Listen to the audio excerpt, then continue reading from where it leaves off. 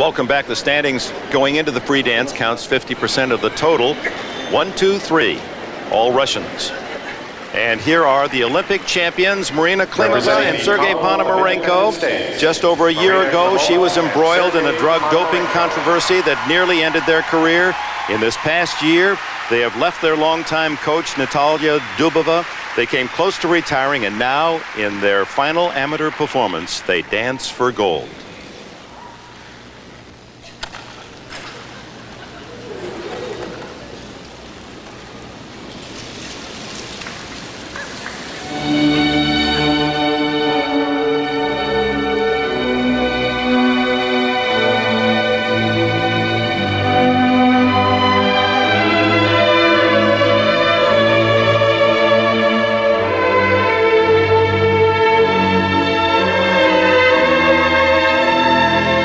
Talked about choreography being physically and emotionally in tune with each other. This is a perfect example. It's a work of art. They've entitled it A Man and a Woman, and it's to Johann Sebastian Bach.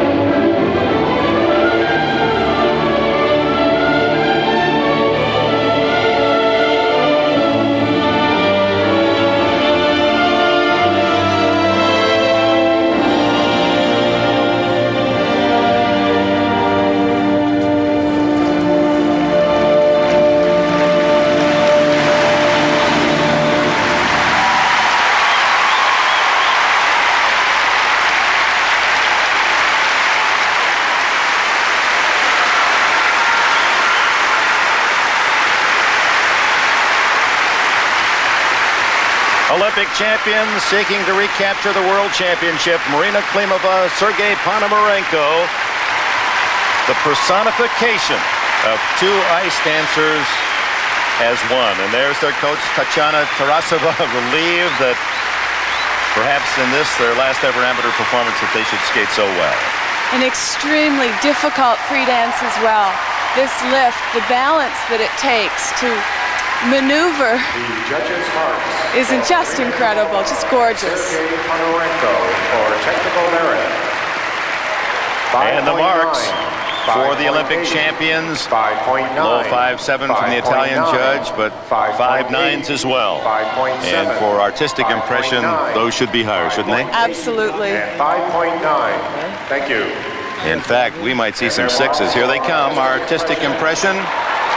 Nope, but they're all five nines for the Olympic champions, Klimova and Ponomarenko.